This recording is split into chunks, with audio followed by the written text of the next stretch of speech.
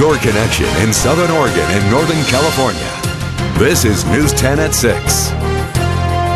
Good evening. I'm Trish Close. I'm Rick Tillery. Thanks for joining us. The May ballots are out, and the big issue in Josephine County is a proposed safety levy. County's law enforcement says the levy is a must. If it doesn't pass, the county struggling with cuts. We'll see even more. News 10's Caitlin Conrad has details in tonight's top story at 6. Rick Trish, this is the second May in a row Josephine County has tried to pass a levy. When last year's failed county law enforcement got the axe, and Sheriff Gil Gilbertson says if this one doesn't pass, he'll have to make even more layoffs. Enforcing the law in Josephine County is no easy task. Almost 83,000 people live in the county, which spreads over more than 1,600 square miles.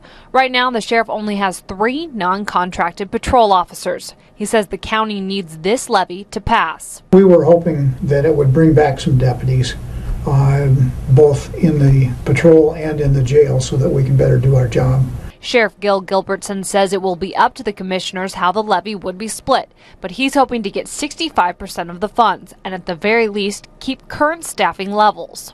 If the levy doesn't pass, uh, we will not be status quo. Since the last levy failed, crime has been on the rise in Grants Pass, with burglaries up 67% and theft up 78%. He says if 17 49 fails, it could get worse. I'm going to end up laying people off uh, which will only exacerbate, you know, an ongoing problem. Which could be one reason why the county commissioners are taking a more active role in getting the levy passed. This time around, individualized postcards were sent out to property owners.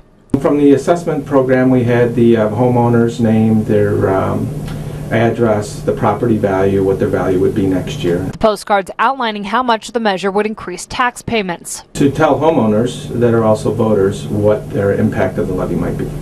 Gilbertson says even if they get new tax revenue, it will still take time for the county to get back up to speed. It'll take us a couple of years to get back to where we were. He says it takes three years to train a new deputy, one reason why surrounding agencies have benefited from past cuts we train them, somebody else takes them. He says the levy could put a temporary stop to that. It's better than what we've got now, but it, it's, it's, it's not enough. The sheriff says since 2007, there have been no requests for raises from any of his deputies. Covering your news, Caitlin Conrad, News 10. In addition to funding the sheriff's office, the levy would provide funds for the district attorney's office. According to county leaders, the levy would mean 61 cents per day for the average homeowner. Josephine County has a muddled history when it comes to passing tax levies aimed at improving public safety. Six public safety tax levies have been on the ballot since 2004. Only half of them have passed. County's most recent levy attempt hit the ballot last May and was defeated with 57% of the vote. You can find the latest updates to this story on our website. Just go to ktvl.com.